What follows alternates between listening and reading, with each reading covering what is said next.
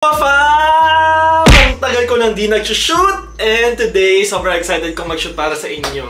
Uh, I think nag nag nag-check ako ng orasan pero wala pa lang I think it's about uh, around 1pm. Galing ako duty kagabi, so natulog ako buong umaga. And today, gusto ko sana ipakita sa inyo kung ano yung kinakain ko normally. And this is a very practical representation ng kinakain ko sa isang araw. Pero, ang challenge ko sa sarili ko ay mamaya ako pag-iisipan kung ano yung kakainin ko. At I'll only choose from whatever's inside my refrigerator.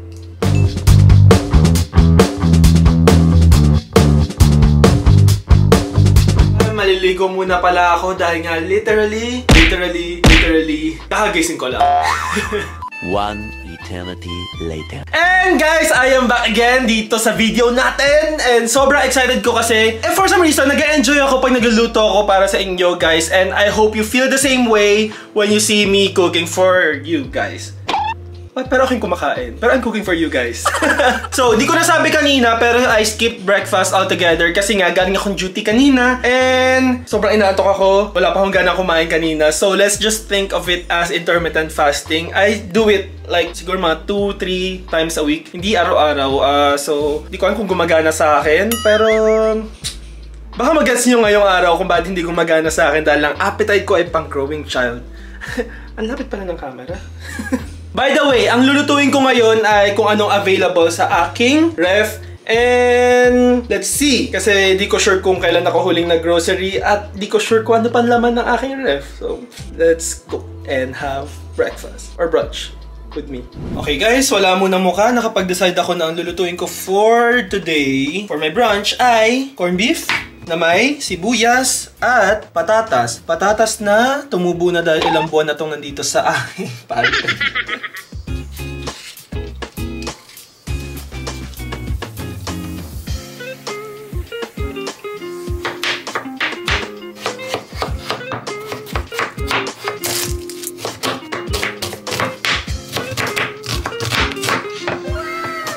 Okay guys, medyo nagkaka-performance anxiety ako. Nakita niyo ba yung mga nginig-nginig ko? Kasi nga ayoko masabihan na ano ba naman ginagawa ng taon to? Parang hindi naman marunong. Guys, nagluluto po ako. Medyo kinakabahan lang ako kasi nga baka ma-judge style na or paghiwa ako. Ano mo yun? Siyempre medyo kabado tayo, hindi man tayo laging nakakapag-vlog. And by the way guys, sobrang na-miss ko ang pag-vlog. Anyway, so lutuin na muna natin itong corned beef and I'll show you how I will enjoy it. Hindi ko alam guys kung napansin nyo, pero bago ang camera natin. Okay? Hey, kamusta? Ganda quality, di ba? Siguro naman guys, investment ko yan.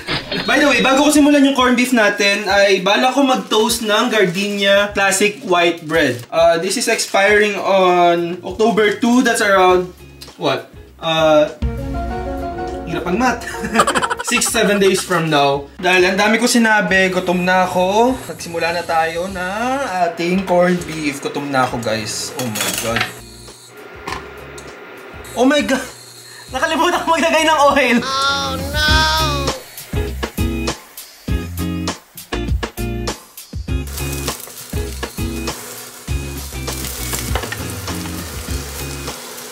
Okay guys, so kung makikita nyo, nagisa muna ako ng sibuyas sa pan at may konting oil na dyan. So ngayon, magto-toast na ako ng aking tinapay. And you might find it weird, but this is actually my favorite part of the bread. Yan. So lagay lang natin na ganyan. Siyempre dahil meron na tayong sibuyas dyan kanina na ginisa, sobrang bango niyan and sobrang magiging malasa yan. Hindi na ako maglalagay ng butter or garlic or yun lang, hindi na ako maglalagay ng kahit ano. Masaya na ako sa ganyan. For now, let's just wait for it to toast. Yung iba naman, they don't actually use oil. Pero ako, mas gusto ko na may oil kasi nga mabango. Mas mabango siya, mas malasa siya para sa akin. Eh, mas masarap siyang kainin together with our corned beef. Guys, babalik ko lang yung onions natin. Hintayin ko lang siya mag-caramelize further. Tapos add natin yung patatas natin.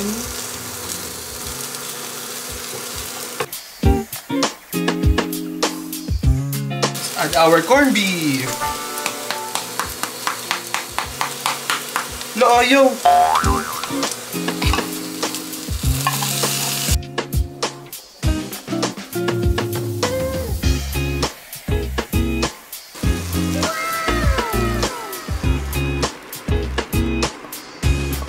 Guys, guys, guys. Look at how excited I am to have my brush. Makakain na rin ako. Sa mga di nakakaalam, kung bibigyan ako ng isang pagkain for the rest of my life na yun lang yung kakainin ko, patatas. Hindi corned beef. Sorry guys. Patatas ang kakainin ko.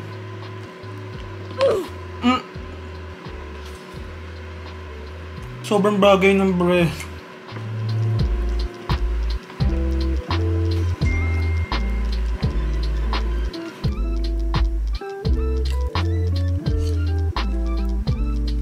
Wait lang! I know nagbago yung mga habit natin simula na nag-start yung pandemic. And along with that, kailangan mag-adjust tayo sa araw-araw na pangangailangan natin sa daily grind natin. What I mean by that is we should adjust our overall diet para mag-fit sa kung ano yung buhay natin ngayon. Yung araw-araw natin, heavy sa brain, heavy sa mental, pero hindi siya masyadong as physical eh. Hindi ko alam kung ako lang ba yun or mas kumonti yung physical stress natin. We need a new program to adjust to that uh, change. And with its added value, putting in gardenia into our diet is something that can help with your pandemic sickness. So guys, Mochi, ako bida, ako bida.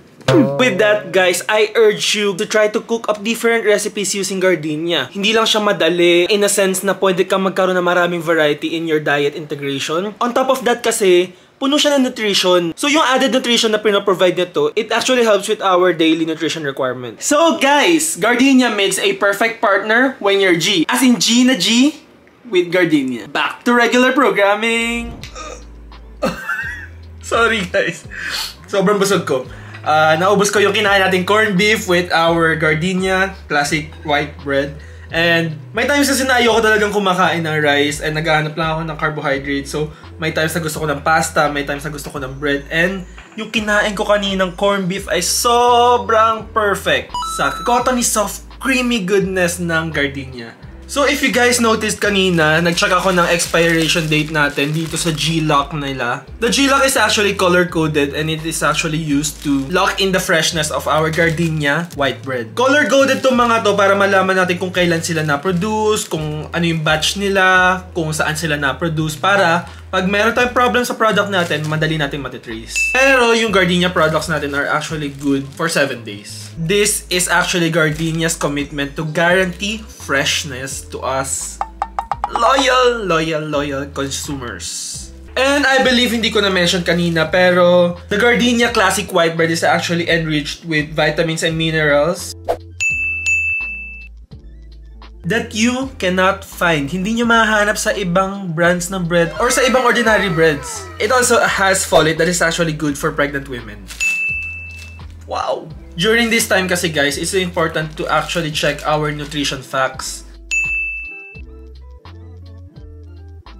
Para ma-ensure na tamang nutrients at tamang dami lang ng nutrients ang pumapasok sa katawan natin. So guys, alam nyo ba, ever since malaman ng family namin to, uh, ito na yung favorite namin. This is our staple sa pantry and mind you guys, believe me, hindi nawawala to sa pantry namin. Alam na alam natin na gustong gusto ng mga pamilya to and I'm sure, as much as our family loves this product, I'm sure, again, na your family will also love this bread. Before I move on, guys, don't forget to follow Gardenia's Facebook page. Guys, for my merienda, syempre magme-merienda tayo agad. At in knowing me, guys, knowing me, alam nyo hindi kompleto ang araw ko pag hindi ako nagkape. So, here, na-prepare ko to last night. Uh, these are actually espresso shots na ginawa kong ice cubes. Be right back, lilipat ko lang to sa baso. A few inches later. Guys, dapat may pagka-aesthetic kasi to. So, pag tinignan nyo, this is the coffee cubes na ginawa ko. And ang bilis niyang matunaw, guys. So, wala nang aesthetic-aesthetic. Ah, lalagyan ko rin ng milk to. This is actually what they call, I think, Kori Kohi.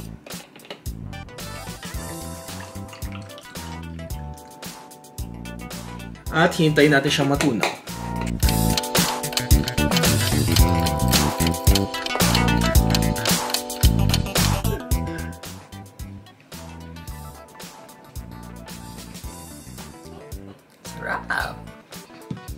Guys, it's time for us to prepare dinner and gusto ko lang i-share na yung kape na ginawa ko kanina ay hindi pa Hindi pa rin siya tunaw. So, hindi ko alam kung paano ko iinumin to. Ano ba naman?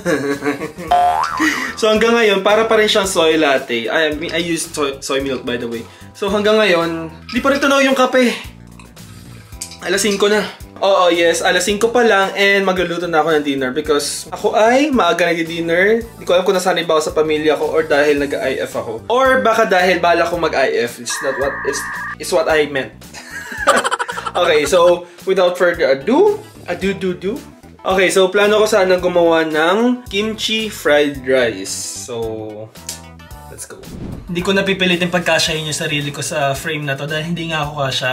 Anyway, when we're talking about kimchi fried rice, the most important thing is kimchi. Siyempre, pag hindi masarap ang kimchi mo, hindi masarap ang kimchi fried rice mo. And this kimchi is, I'm proud to say na ako ang gumawa niyan. Ako nag-ferment yan and ako ang nag-season yan after kasi dahil maalat siya nung una at kailangan i-remedyo yung alat. So here we have a bowl. Ang ginagawa ko kasi ay, ah, ay, kinukuha ko yung gawa kong kimchi. Yan. Sinasama ko yung mga labanos. Naglagay ako ng mga labanos dito kasi sobrang alat nung gawa ko nung una. Ito yung pinang-absorb ko ng alat. Tapos lagyan nyo ng konting sauce. Ooh. Important yung sauce na yan guys. Sobrang important yan. Huwag yung kakalimutan yung sauce. Naging cooking class tong ano natin ha. From here, dito ako nagugupit. Kasi nga gusto natin i-save yung ano niya, yung juice. Ah, depende naman sa inyo. Yung kunyari, yung radish nyo gusto nyo malaki lang. Hindi yung gantong stripes-stripes. Ah, wala yung problema dun. Ako kasi medyo gusto ko, ah, every bite merong pack ng flavor. Kaya ginugupit ko siya na mas maliliit pa. Yan. And then, ah, kung mapapansin nyo, pinagpipilitan kong maggupit ng gulay dito kasi nga, I'm trying to save the juice. See? Ganyan na itsura pag ikaw ang gumawa ng kimchi mo. Diba? Diba? Ganyan lang. Let's move on to making our kimchi fried rice. Okay guys, kung mapapansin nyo, may oil na dito kasi nagluto na ako ng fried egg na mamaya uulamin ko sa kimchi fried rice natin. Dahil wala akong green onion, pagtsatsagaan ko na tong ano natin, ah, kimchi natin agad-agad na wala, wala ng onion-onion pa.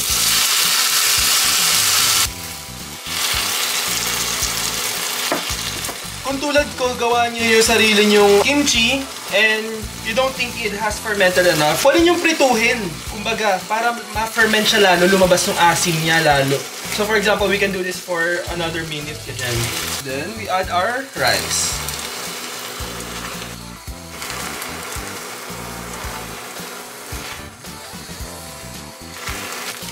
Hinalo ko lang yung kanin tsaka yung kimchi. Tapos, ah, parang naging cooking class tayo dito ah. Then we add our kimchi juice. Yan ang pampasarap.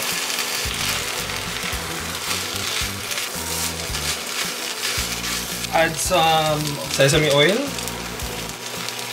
Add some gochujang.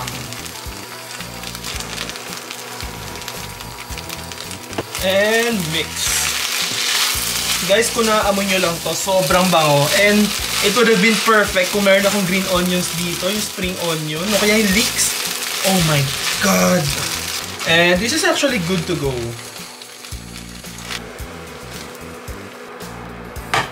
Yan guys! Sinama ko kayo sa aking master cooking class and this is our endpoint. Nagprito rin ako ng itlog. ah malasado. Ayan, basagin natin.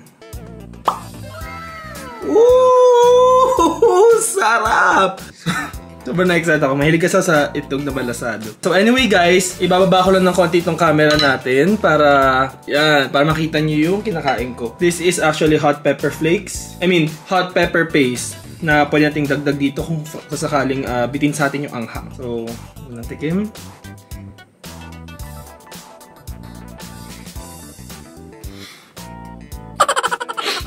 Lord! Grabe. Oh my Kung mapapansin nyo, ngayon ko sinasama tong red pepper paste natin kasi makokontrol natin yung anghang. Pero habang nagluluto, ang nilagay ko dito is gochujang or yung parang Korean dipping sauce ata yun. Oh my god. Sarap. I mean, syempre wala kayo dito para panoorin ako kumain. Pero, might as well. Mmm! Grabe. Hindi ko na-expect na ganito kasarap yung luto ko. Hmm. Bigat. Buhat na buhat ko yung sarili ko dun ah.